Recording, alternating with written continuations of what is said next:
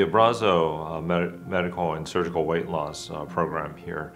uh, is different from a lot of other weight loss programs in that we don't just do surgeries or we don't just do medical